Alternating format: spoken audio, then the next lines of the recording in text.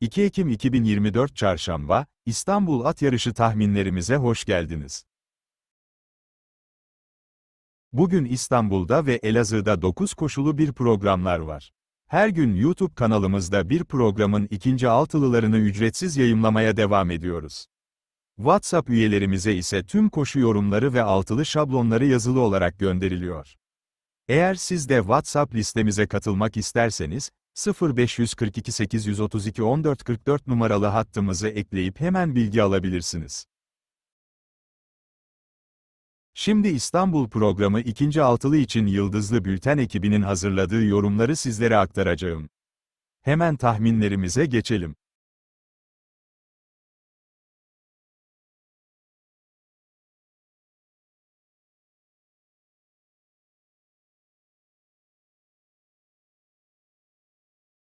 Dördüncü koşu. İki yaşlı dişi İngiliz atlarının katılacağı şartlı dört yarış, 1600 metre çim pistte koşulacaktır. Dişilere mahsus bu koşuda süratli bir tempo olacak. Liderliği isteyen birçok isim var. 6 numaralı Single 7 numaralı Blaze of Honor ve 1 numaralı Muğlalı Vargas mutlaka öne erken gelecekler. Bunlara 3 numaralı Bebeğim Oldun ve 4 numaralı Princess Serra da katılabilir. Bu kısrakların stilleri tam olarak oturmadı fakat, bunlardan birkaçı mutlaka önde kalmak isteyecek ve tempoyu yükseltecektir. Bu koşuda 2 numaralı Almanyalı kızı çok tutuyoruz. Sert gruptaki yarışlarında da adından sıkça bahsettiğimiz bu kısrağın potansiyeli çok yüksek. Daha iyi grupları da geçebilecek kapasiteye sahiptir.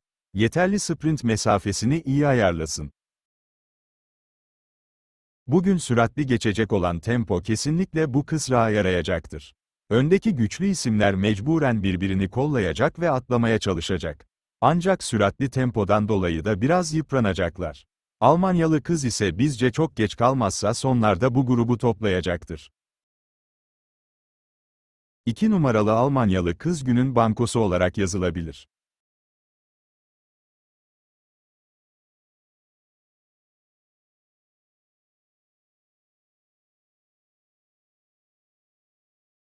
Beşinci koşu. 3 yaşlı Arap atlarının katılacağı maiden yarış, 1400 metre sentetik kum pistte koşulacaktır. Bu koşuda hafif süratli bir tempo olabilir. Virtüöz Gül Asya ve Mavi Aşk gibi isimler yarışa tempo verecekler. Yarış baştan çok süratli başlamasa da öndeki atlara eşlik eden isimler olursa tempo sonradan süratlenebilir. 11 numaralı Zor Kız, son yarışında düzlükte mükemmel sprinti ile gelip ikinci oldu. Düzlükte bir ara sprinti hafif bir kesintiye uğradı. Eğer bu olay olmasaydı kesinlikle yarışı kazanırdı. Bugün de bu kısrak için lehine bir gidişat olacak. Daha önce sentetik pistte de aynı sprintini yapabildiğini gördük. Tempo beklediğimiz gibi olursa bu kısrak yarışı kazanabilir. Bizim net favorimizdir. 6 numaralı Virtüöz ve 9 numaralı Mavi Aşk iyi yarışları ile dikkat çeken isimler. İkisi de tempoyu çok süratlendirmezse şanslı olur. 4 numaralı Odabaşı'nın son yarışını beğendik. Bugün de benzer şartlar var. Çok geç kalmazsa etkili olacaktır. 8 numaralı İzelzade, 2 numaralı Golazo, 5 numaralı Serzatkeyf ve 3 numaralı Kızgın Yürek'te sağlam kuponlarda olsun.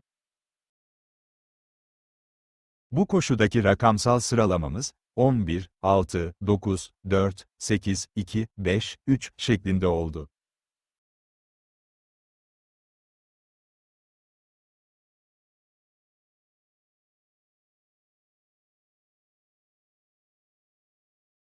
Altıncı koşu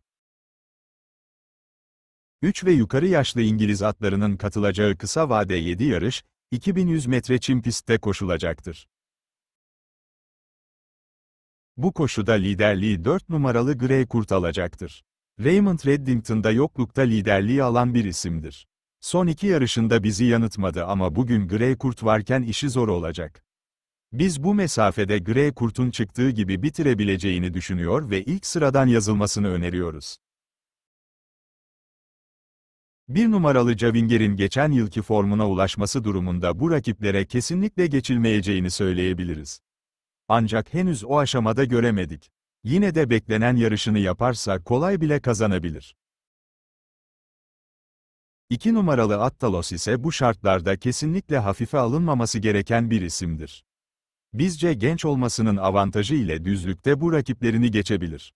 Dikkat etmek gerekir. Bu koşu için rakamsal sıralamamız 4, 1, 2 şeklinde oldu.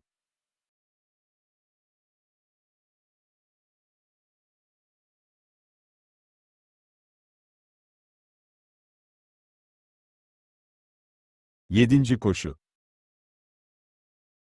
3 ve yukarı yaşlı İngiliz atlarının katılacağı handikap 17 yarış, 1400 metre çim pistte koşulacaktır.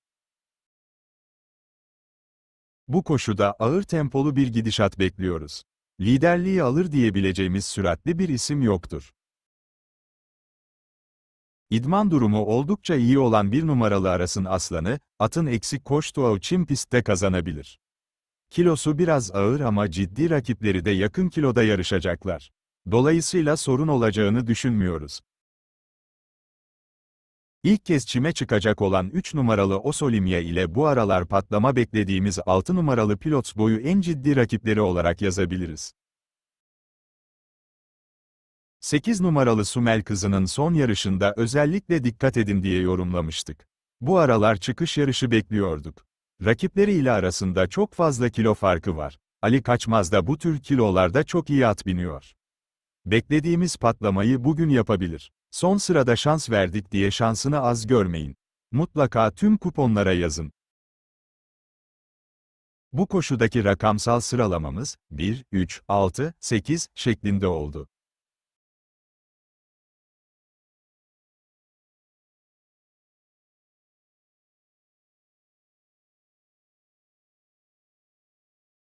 Sekizinci koşu 3 yaşlı Arap atlarının katılacağı şartlı 5 yarış, 1500 metre sentetik kum pistte koşulacaktır. Bu koşudaki net favorimiz 3 numaralı Mirza Bey olacaktır. Bu safkan hayatının ilk iki yarışını sentetik pistte kazanmıştı. Sonraki çim pist yarışında kısa vade koşuda bekleneni veremedi. Son grup yarışını da ölçü almamak lazım. Bugün sentetik pistte geri dönüyor.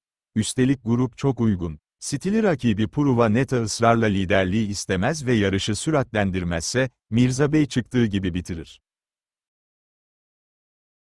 Yarışlarını çok beğendiğimiz 5 numaralı Arpatepe bizce tek ciddi rakibi olacaktır. Yarış erken süratlenirse sonlarda çok sert gelecektir. Bu koşuyu 3 ve 5 sıralaması ile geçebiliriz.